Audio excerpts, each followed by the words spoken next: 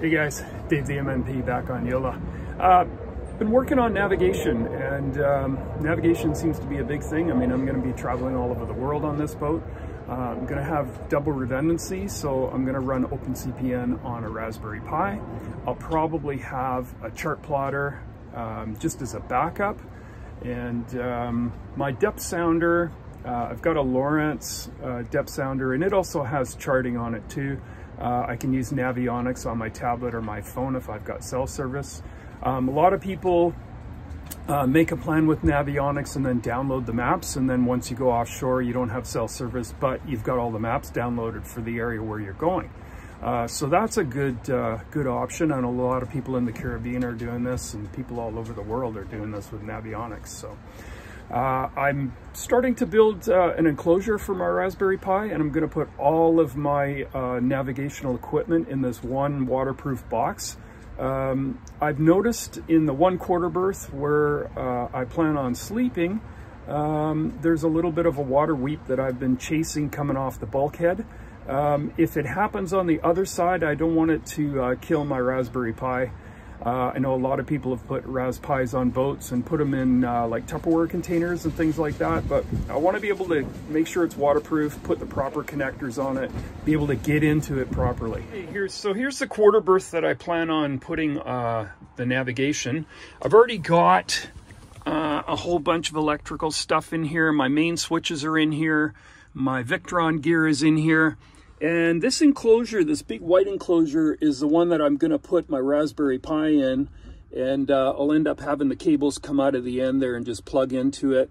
Um, my, the controller for my um, tiller uh, actuator is down there.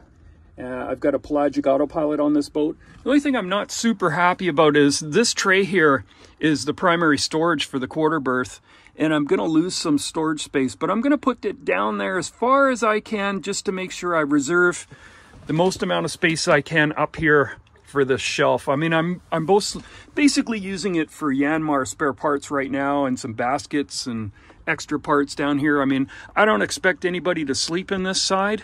Um, they could if they really wanted to, but I'm basically using this as the technical compartment now. All right, so this is what my enclosure looks like. Uh, right now I've got the uh, DC converter, so 12 volts in from the boat, and that gives me 5 volts to power the Pi.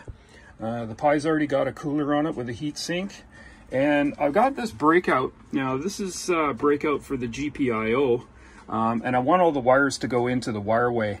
Um, there's another way to do this where you just put it as a hat on top of the Pi, um, but I think that's going to have an issue with cooling.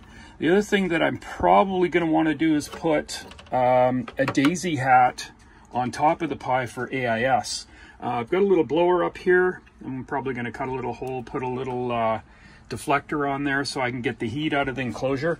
Um, it could be that this enclosure is so large uh, that I don't really need an internal fan. I do have a little controller to go up here to control that fan with a sensor, so it'll actually only run uh, if the enclosure gets too hot. But I kind of think that the size of the enclosure, I might get some heat off of this guy, um, and the nice thing about that is it'll keep the moisture out of this enclosure for the Pi, so I don't end up uh, having issues with moisture inside the panel.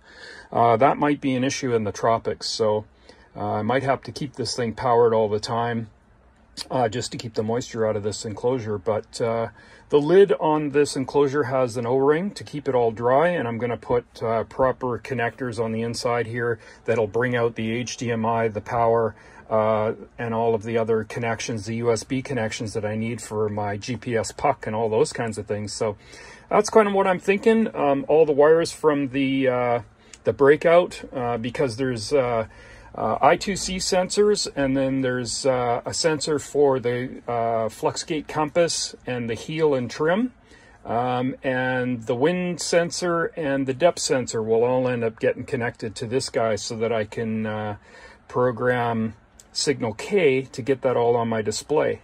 Um, the other thing I'm going to do is I'll probably end up getting rid of this depth sounder um, or maybe this guy uh, and put a little touch screen up here and when I'm in the cockpit I can just swing this thing into the cockpit and you'll be able to see it from the cockpit so uh, you know, I don't know if this is going to be strong enough. Um, I might have to put an actual um, display arm on it, kind of like what you would have on a small TV at home. So. All right, this is what my navigation area looks like from the cockpit and my chart plotter and my depth sounder. If you like the video, give me a thumbs up, like and subscribe, and I'll see you guys next week. Thanks a lot.